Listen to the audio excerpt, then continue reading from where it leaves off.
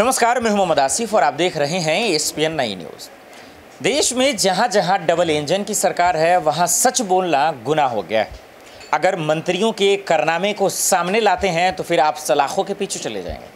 हमारा आपने देखा कि जब यूपी का विधानसभा चुनाव 2022 में हो रहा था, और वहीं लोकसभा चुनाव को लेकर जब चर्चाएँ हो रही थी तो यूपी में काबा ये तमाम शब्द आपने सुने होंगे। इस पर बहुत ज़्यादा डिबेट भी हुए तमाम चीज़ें।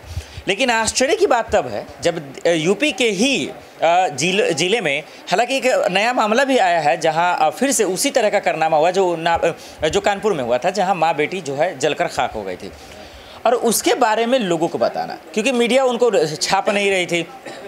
अब एक सिंगर नया सिंह राठौर का आप ये मामला जान रहे अगर वो उस पर गाना बनाए, इससे आपत्ति क्या है? इससे दिक्कत क्या है?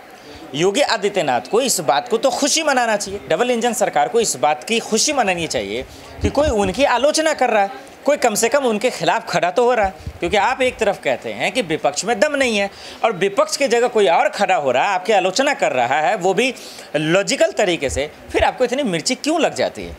योगी सरकार से बहुत बड़ा सवाल है कि आखिर उन पर जो नोटिस भेजा है, किस वजह से भेजा है? किस बिहाब पे आपने भेजा है? जिस तरीके से बाबा बुलडोजर पर लोग आज हंस रहे हैं।